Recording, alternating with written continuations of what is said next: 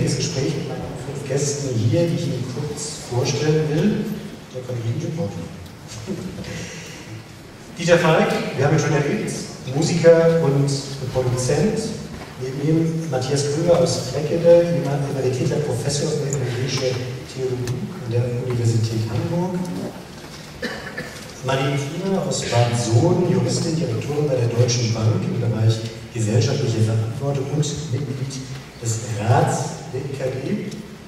Zu meiner Linken Hans-Michael Heinig aus Göttingen, Universitätsprofessor für öffentliches Recht, insbesondere Kirchenrecht und Staatskirchenrecht an der Uni Göttingen. Und gleichzeitig ist er auch Leiter des Kirchenrechtlichen Instituts der EKD.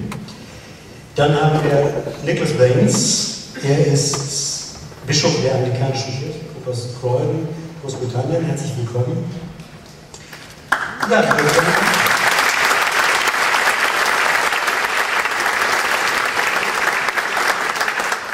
das sind die Gäste in unserem Podium. Ein herzliches Willkommen aber auch unseren Anwälten des Publikums. Sie sitzen hier an der Seite, Dr. Matthias Nagel und Christoph Urbach. Die beiden sammeln jetzt während der Diskussion die Fragen aus dem Publikum, also sprich Ihre Fragen ein. Hier gibt es Helfer im Saal, die Zettel und Stifte austeilen und die sammeln dann die Fragen wieder ein, wenn sie die da draufgeschrieben haben, leiten sie an unsere Anwälte des Publikums weiter und die bringen die dann in die Diskussion ein. Ja, da der Impuls sinnvoll war, würde ich sagen, alle Gemeinden und Landeskirchen haben die Möglichkeit, sich dazu zu verhalten. Das Problem sehe ich an einer anderen Stelle. Äh, ich schätze es außerordentlich, dass die evangelische Kirche unter dem Spardruck und der Finanzeinbrüchen nicht zu dem Weg greift, der sonst in der beschritten wird, nämlich Schulden zu machen. Dass die Kirchen keine Schulden machen und eine ungeheure Last der inneren Umstrukturierung auf sich nehmen, und das bindet alle Kräfte, das ist sehr ehrenwert, hat aber eine fatale Konsequenz. Dass in dem Moment, wo wir noch mehr als bisher merken, dass der rote Faden des Verständnisses von dem, was Kirche verkündigt und die Pointe der Kirche ist nicht ihre soziale Tätigkeit, sondern der Glauben und ihre Verkündigung. Und wo der Faden dazu abreißt, in einer Situation, in der Faden, gerade auch dadurch, dass wir die DDR wiederbekommen haben, das ist ja ein wunderbarer, Gott geschenkter Prozess, wird die Frage, wie reden wir und wie denken wir theologisch und religiös immer wichtiger. Und dafür ist nicht die leiseste Zeit und die leiseste Kraft vorhanden. Bitte Sie zu erinnern, dass ungefähr 5 bis 8 Prozent unserer Kirchenmitglieder dem gemeindlichen Leben zugehören. Die anderen nennt man mit einer Fachsprache die Distanzierten. Und das, was in der Kirche gedacht und geredet wird, ist schlechterdings für einen normalen Menschen, der von außerhalb der Kirche kommt, nicht mehr verständlich. Deswegen hat der Herr vorhin mit der Musik sehr zu Recht gesagt, Kulturschock, wenn man die Kirche betritt. Es gibt auch einen Religionsschock. Ich, darf, ich zitiere mal einen Satz, der mir neulich von einem Pastor gesagt worden ist. Unsere Aufgabe ist es nicht, uns in den Zoo der religiösen Gefühle von Menschen einzulassen, sondern die Offenbarung Jesu Christi zu verkündigen. Überlegen Sie mal, wie sich Menschen, die mit ihren religiösen Gedanken und Empfehlungen auf Suchbewegung sind und möglicherweise der Kirche Rat Ernährung ihrer Seele in Psalmen und Chorälen suchen, wie die sich aufgenommen fühlen, wenn sie als der Zoo der religiösen Gefühle, die dem Pastor nichts angeht, verstanden und aufgenommen sehen. Was heißt abgelehnt sehen? Es ist eine solche Verfremdung der Kirchensprache. Und wenn es eine Reform gibt, dann muss man sagen, es wird Zeit, dass sich die kirchliche Sprache und das kirchliche Denken im Herzen des Glaubens selbst öffnet und umgestaltet und reformiert.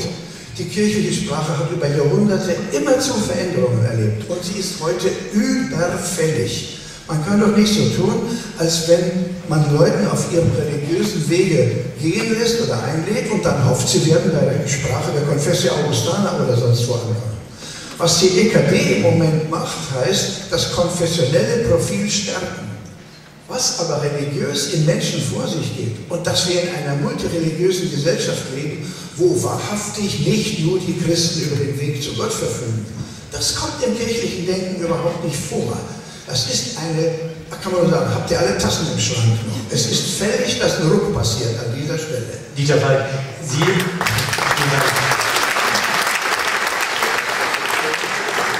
Dieter Falk, Sie sind Christ. Äh, fühlen Sie sich eigentlich angesprochen von den Angeboten, die durch Ihre Gemeinde kommen? Angebote meiner Kirchengemeinde, wenn ich da angesprochen fühle. Ja, wir haben das Glück, einen guten Pastor zu haben. Mein, äh, hier der Max, der gerade Percussion gespielt hat, äh, ist letztes Jahr konfirmiert worden.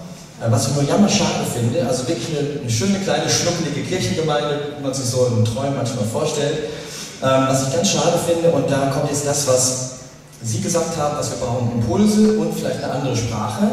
Ähm, die 30 Konfis, von denen sind gerade noch zwei in der initiierten Jugendgruppe gelandet. Anfangs waren es 15, es wurden immer weniger, am Schluss waren es noch zwei. Obwohl der Pastor wirklich, wie soll ich sagen, pop-affin ist, obwohl er eine tolle Sprache hat, auch eine gute Verkündigung, junger Typ auch noch. Ja, also eigentlich passt doch alles. Woran liegt's?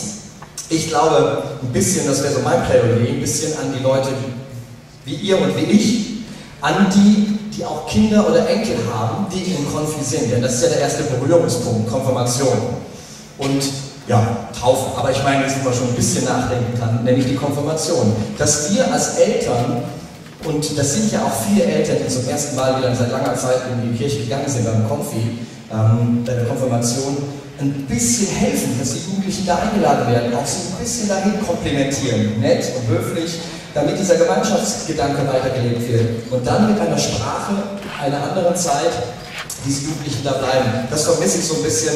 Und es ist so jammerschade, dass wirklich die Jugendarbeit daran krankt, dass die Leute nicht dranbleiben, nicht am Ball bleiben. Das ist aber unsere eigene Kappe als Eltern angesprochen.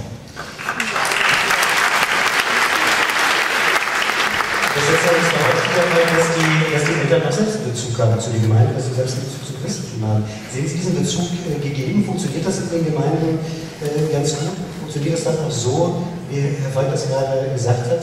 Wenn die Eltern ein bisschen helfen, dann führt man auch die Konfis und Jugendarbeit an. Kirche der Freiheit ist ja entstanden, weil es einen, eine Form von Traditionsabbruch in volkskirchlichen Strukturen gibt. Man geht nicht mehr automatisch in den Jugendkreis als ich konfirmiert wurde, war das für mich noch irgendwie völlig klar. Und äh, meine Mutter hätte darüber auch nicht wahnsinnig lange mit mir diskutiert, sondern hätte ähm, alles daran gesetzt, dass ich dahin und ich bin da hingegangen und habe wesentliche Prägungen rausgenommen. Das kann man heute nicht mehr voraussetzen. Und das ist genau der Ansatzpunkt von Kirche der Freiheit. Es ist nämlich ein freiheitliches Momentum, was auch die Rolle von Kirche und Gemeinde und auch der Pastoren völlig verändert. Ähm, die Dame, die das Tauffest in Lockung organisiert hat. Sie hat gesagt, wir haben ein Angebot gemacht und wir sind auf die Menschen zugegangen. Wir können als Kirchen heute nicht mehr erwarten, dass die Menschen automatisch uns, äh, zu den Pfarrern kommen. Sie kennen sie nicht. Ich wohne in einer Gemeinde, die sich alle acht Jahre statistisch gesehen komplett umschlägt. Eine Randgemeinde von Frankfurt. Dort ziehen ein Viertel aller Gemeindemitglieder weg äh, in den Jahren. Und die Menschen, die ich persönlich irgendwo kennenlerne, die sagen, ach, ähm, ich habe aus einer Gemeinde noch nie was gehört, das ist ja interessant. Habt ihr einen guten Pfarrer? Ihr, dann würde ich auch mal hingehen. Also man muss anders bauen und das war genau der Punkt, dass man die sozialen Veränderungen in dieser Gesellschaft, die kommunikativen Änderungen, die Menschen kommunizieren heute anders miteinander als noch in einer Dorfgemeinde vielleicht vor 50 oder 30 Jahren. Dass man die wahrnimmt und sagt, jetzt fangen wir an, unsere Kirche daraufhin anders aufzubauen. Und meine Kirchentanzerfahrung, acht Jahre habe ich mitgestalten dürfen, hat mir gezeigt, wie viel Kraft in dieser Kirche ist.